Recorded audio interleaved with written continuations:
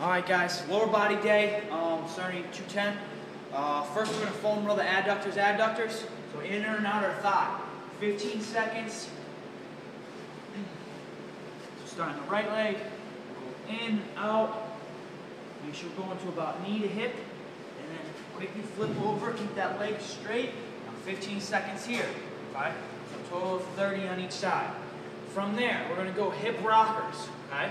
So basically getting them down into a, I used to call this the athletic pose for any picture.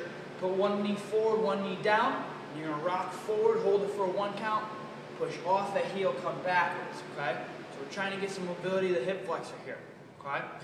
From there, we're going glute bridge march, all right? So you'd have them do that for uh, 30 seconds each side, then you go to glute bridge march.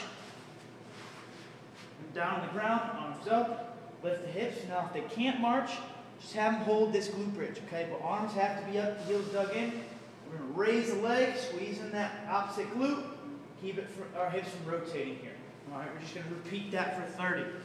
All right, from there, we're going right into an iso squat forward back lunge. I did this for a finisher. It worked great, and it's also we can use it for a ramp up. So squat, have them squat down. The lower they squat, the harder it is. You're gonna forward lunge, backward lunge, switch. Okay?